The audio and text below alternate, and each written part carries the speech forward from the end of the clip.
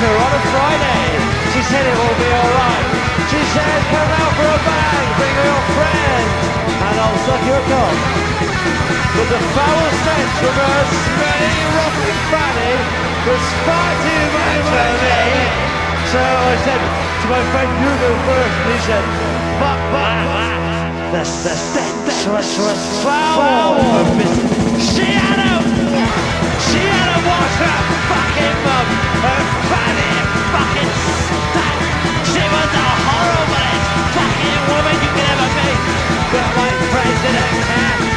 her me.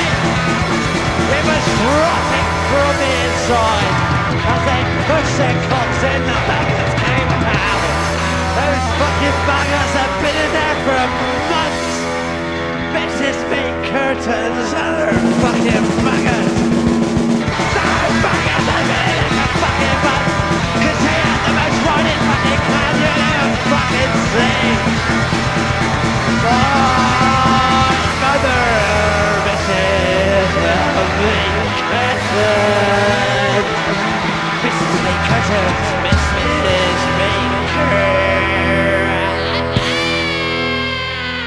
My mother was Mrs. Big.